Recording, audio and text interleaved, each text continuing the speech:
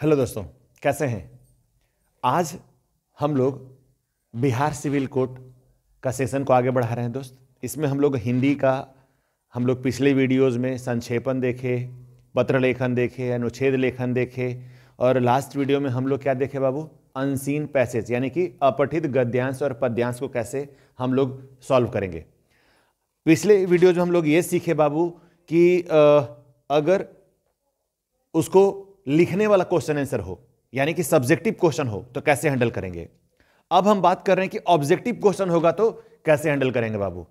Pattern बिल्कुल same है, पूरे पैसेज को पढ़ना है क्वेश्चंस को फिर पढ़ना है, और उसका दोबारा पैसेज पढ़ना है अंडरलाइन करना है, जहाँ पर जैसा क्वेश्चन होगा, अर्थ को समझते हुए उसको हम लोग ऑप्शन को टिक करेंगे। कभी कभी शब्द, जैसा हम आपको पिछले वीडियो में बताए थे कोई कोई शब्द का अर्थ पूछता है समानार्थी शब्द पूछेगा विलोम शब्द पूछेगा मुहावरा दिया रहेगा वो पूछेगा। मतलब इस तरह का बहुत सारा चीज़ आपसे पूछ सकता है। तो आपको क्या करना है बाबू? थोड़ा सा अपना अनेक शब्दों के बदले एक शब्द समास विग्रह संधि विच्छेद आपको आ, मुहावरा लोकोक्ति थोड़ा सा ध्यान में रखना पड़ेगा। तब जाकर हम लोग पूरा का पूरा अटेम्प्ट कर पाएँगे। ठीक है?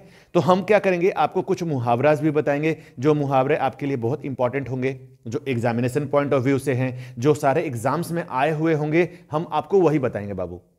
जो सबसे अधिक एग्ज़ाम्स में आता है, हम आपको वही दे रहे हैं, जो आपको अभी स्क्रीन पे दिखेगा, ये भी एग्ज़ाम में आया हुआ क्वेश्चन है।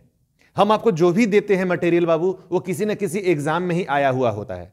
आप मेरे वीडियोस में, पिछले वीडियोस में भी जो हम आपको मैथ्स का सेक्शन सिखाए हैं, उसमें आप देखेंगे, जो क्वेश्चन आता है, वो एसएससी आपका सीपीओ एलडीसी सीजीएल का आया हुआ क्वेश्चन ही हम आपको सॉल्व करवाते हैं।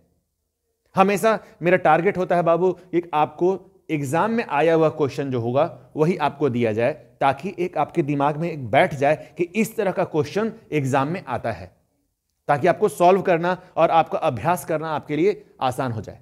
ठीक है? तो देखिए, आपके स्क्रीन पर एक पैसेज दिख रहा होगा, एक अनसीन पैसेज यानी कि अपठित गद्यांश दिख रहा होगा बाबू। देखिए, हम लोग उसको सॉल्व करते हैं। अनुच्छेद वन देखिए, लिखा हुआ होगा।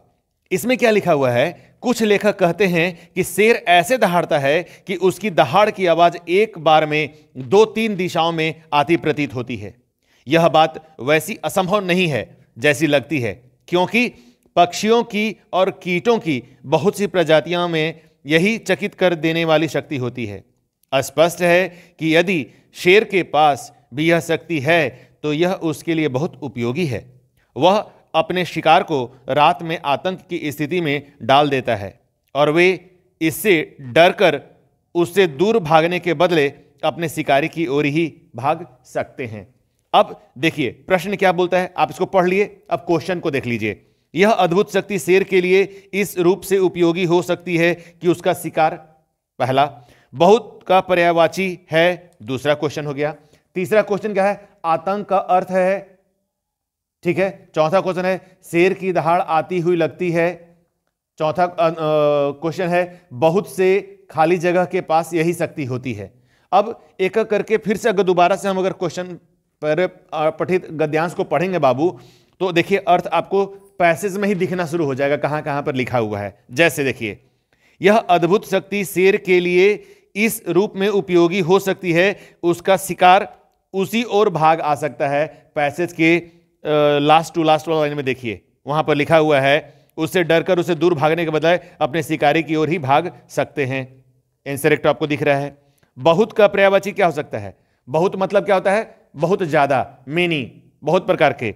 तो अधिक का इसका अर्थ हो सकता है बाबू।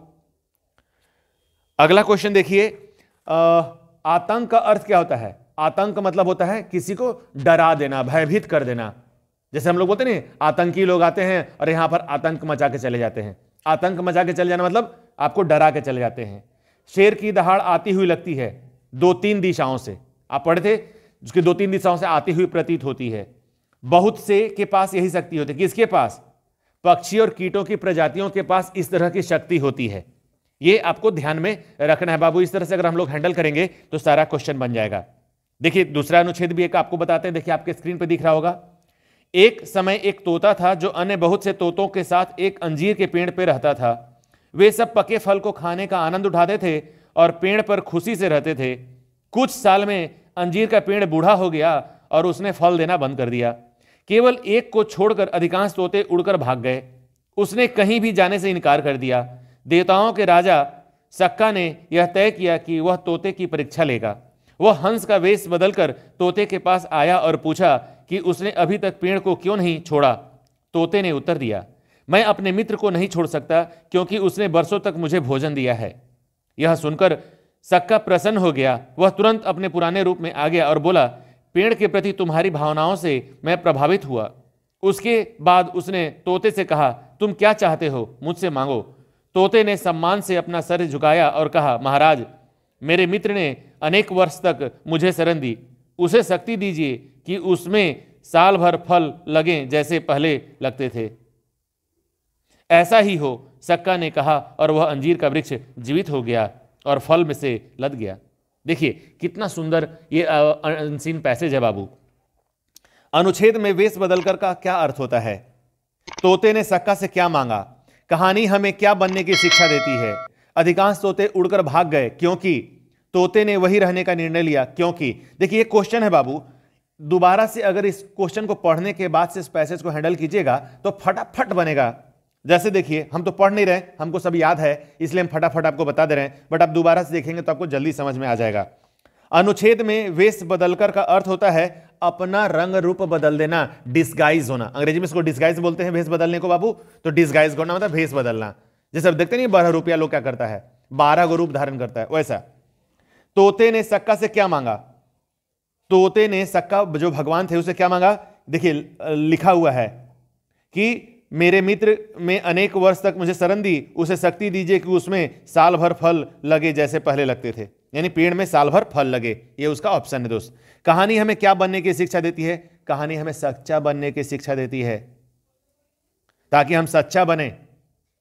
ठीक है?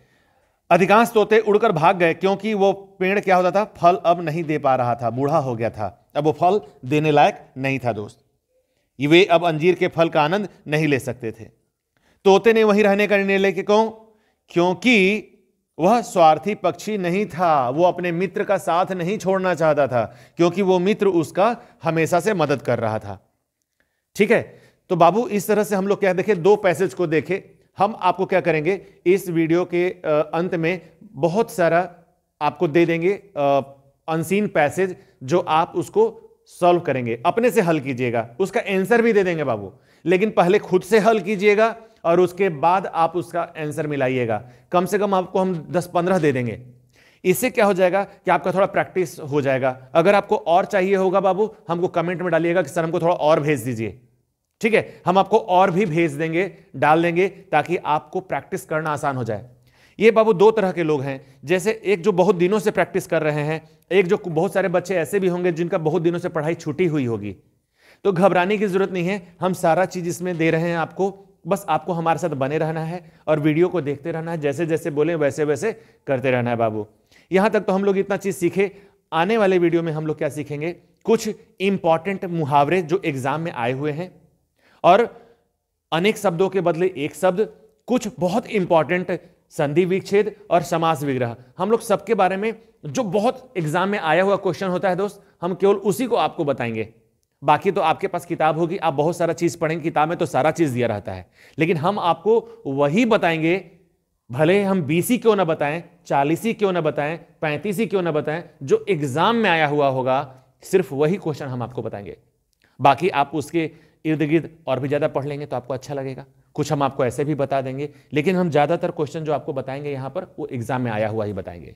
ठीक है बाबू? अभी वीडियो के लास्ट में आपको सारा सीक्वेंस में मिल जाएगा, लगातार होकर मिल जाएगा। ठीक है? मिलते हैं अगले वीडियो में। ध्यान से पढ़िए बाबू, जम के पढ़िए। Thank you